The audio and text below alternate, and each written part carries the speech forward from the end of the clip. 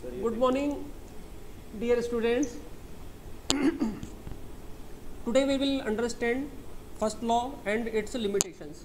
According to first law heat and work are mutually convertible to each other. This is according to first law but there are some limitations also of first law. First limitation is first law does not help to predict whether the certain process is possible or not second limitation is the first law does not give the information about direction. Third limitation is it does not provide any it does not provide and specify sufficient condition to process takes place.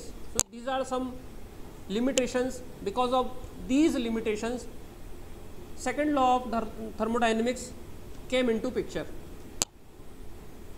in second law of thermodynamics there are two statements first is kelvin planck statement. And second is clausius statement. According to kelvin planck statement it is impossible for any device as heat engine that operates in a cycle to receive heat from a single reservoir and produce net amount of work. It means there is no device which can convert heat into work 100 percent.